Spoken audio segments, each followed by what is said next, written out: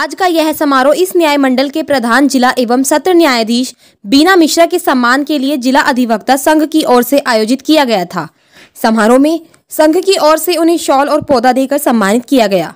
इस मौके पर संघ के महासचिव चुन्नू कांत ने एक तरफ़, जहाँ उनका स्वागत किया, वहीं दूसरी तरफ़ कोरोना के पीरियड में अधिवक्ताओं को हो रही परेशानी की ओर उनका ध्यान आकर्षित किया। कहा कि अब फ़िज़िकल कोर्ट चालू करने का समय आ गया है, क्योंकि वर्चुअल कोर्ट में तकनीकी रूप से कई परेशानी हो रही है। इसी तरह नकल में विलंब होने से लोगों को काफ़ी परेशानी का सामना करना पड़ता है। इस मौके पर श्रीमती बीना मिश्रा ने कहा कि उनकी कोशिश होगी बार और बेंच के बीच अच्छे रिश्ते रहें, ताकि न्यायिक निष्पादन सुगमता पूर्वक हो सके। कार्यक्रम में अन्य लोगों के अलावा अध्यक्ष दुर्गा प्रसाद पांडे उपाध्यक्ष बाल गोविंद साहू लाइब्रेरियन शिवेंद्र सिन्हा कोषाध्यक्ष मीरा कुमारी सहायक कोषाध्यक्ष ज्योतिष जिला सचिव प्रशासन दशरथ प्रसाद के अलावा वरीय अधिवक्ता एस के मिश्रा वीरेंद्र राय पूरन महतो समेत एक दर्जन से अधिक अधिवक्ताओं ने अपने विचार व्यक्त किए और बाहर में आए न्यायिक अधिकारियों का स्वागत किया गया। बताइए जानकारी दीजिए।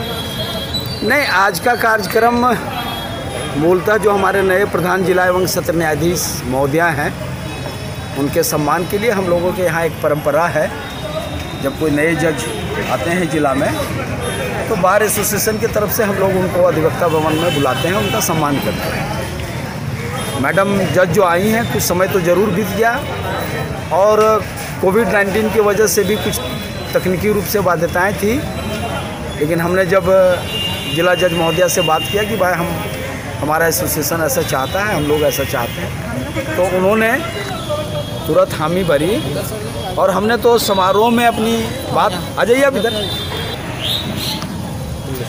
तो समारोह उन्हीं के सम्मान के लिए था और मैडम जज ने बहुत अच्छी बात कही और हम उनके बातों से आश्वस्त हैं कि इस न्यायमंडल का बार और बेंच के बीच बहुत कॉर्डियल रिलेशन रहेगा। हम लोग भी यही चाहते हैं। हमारी जो कुछ परेशानी थी, उस बारे में भी हमने उनका ध्यान आकृष्ट कराया कि वर्चुअल कोर्ट से अब लोग लिटिगेंट्स लॉयर्स एडवोकेट क्लर्क और न्यायमंडल में भी लोगों को असुविधा दिखने लगी।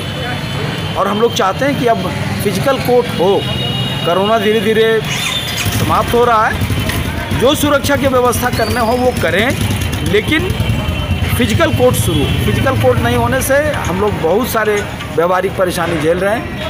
और हम आपके चैनल के माध्यम से भी हम चाहेंगे ऑनरेबल हाईकोर्ट भी इसको संज्ञान में ले और इस तरफ़ कुछ गति बढ़ाए ताकि सारे लोगों को जिसको इस न्यायमंडल से वास्ता है, उनको थोड़ी राहत मिल सके। बहुत धन्यवाद।